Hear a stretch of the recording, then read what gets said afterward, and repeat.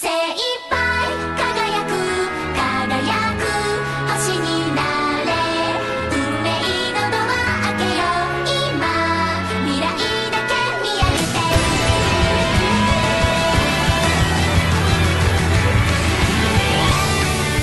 さんこんにちは。赤毛ミラ役の黒沢智也です。テレビアニメ「アイドルマスターシンデレラガールズ」のオープニングテーマ「スター」の発売まであと3日